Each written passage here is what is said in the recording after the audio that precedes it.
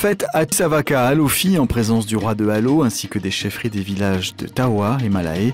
Meskava, la cérémonie de la Sainte Croix a été à la hauteur de toutes les attentes.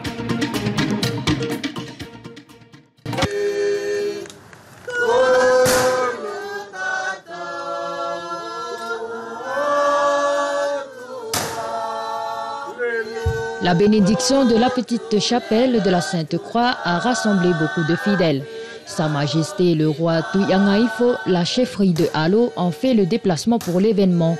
La cérémonie religieuse est célébrée par le curé de la paroisse, Père Capellier Katoa.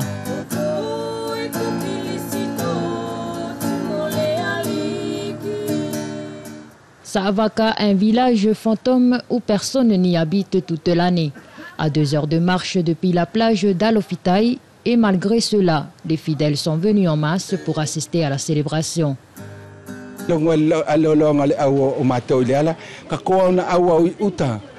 Je ne comptais plus toute cette distance qu'il fallait parcourir, tellement je voulais venir pour voir et assister à la cérémonie.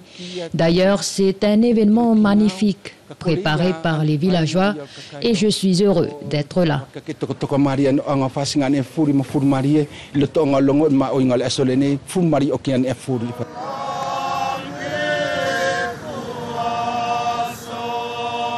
Après la messe, place aux cérémonies coutumières.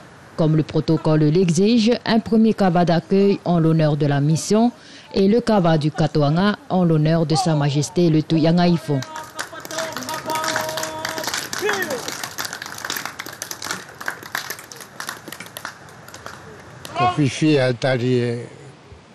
C'est une grande joie pour nous tous que Sa Majesté le Tuyangaifo et toute la chefferie soient ici. Et je remercie en particulier les villageois d'avoir préparé toutes ces offrandes.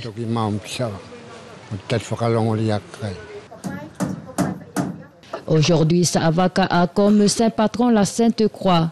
Depuis 2012, une messe est dite une fois par an sur le site un projet de l'actuel Tuisavaka Marino Masei, soutenu par les anciens pour rappeler aux villageois que leurs ancêtres sont originaires de Savaka.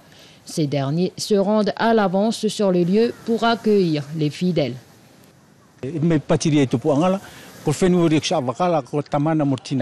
D'après nos ancêtres, Savaka est un village où on ne manque de rien, question nourriture. On peut vivre de la mer et aussi de la terre avec nos cultures et nous sommes heureux de voir les nombreux fidèles qui se sont déplacés pour l'occasion. De plus, la mer était plutôt calme ces derniers jours. Désormais, lors de la fête de la Sainte Croix, la messe ne sera plus célébrée en plein air comme les fois précédentes. Et on termine ce jour de fête dans une ambiance de Soamako.